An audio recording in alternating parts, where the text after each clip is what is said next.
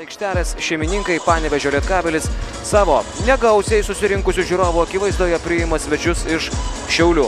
Demonstruoja, kad šiandien nors ir niekas jų nelaiko šių rungtinių favoritai. Saveckio reidas ir štai kokius taškus su pražanga pelno. Lukauskis, Taroliui, Tarolis. Šištafas įma kamolį. Kaip ten bebūtų. Po pirmojo kelnio tikrai niekas nepaaiškėjo. Šiuose rungtynėse koks blokas Martinas Echodas. Polas Gilas 2 prieš 2 su Vladislavo Koreniuku. Neblogas Gilo perdavimas ir taškai krepšyje. Štai taip. Valdo kamuolį šis amerikietis.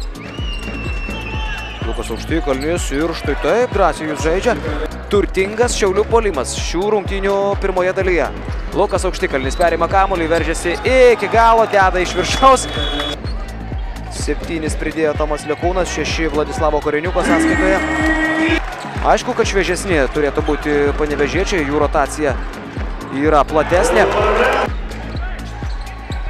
Oi, koks gražus perdavimas dabar. Donatas Tarolis atlieka į Lorenzo Williamsui ir...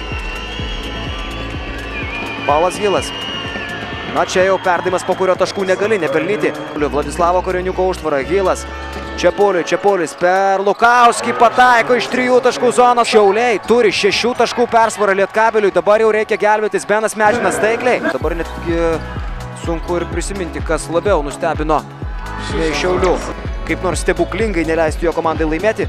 Aš tai čia. Svarbiausia buvo įsimesti šį kamuolį ir švesti pergalę. Šiaulių komanda 85, Lietkabelis 80 ir tai yra didžiulė staigmena Teta Tet Kazino Lietuvos krepšinio lygoje.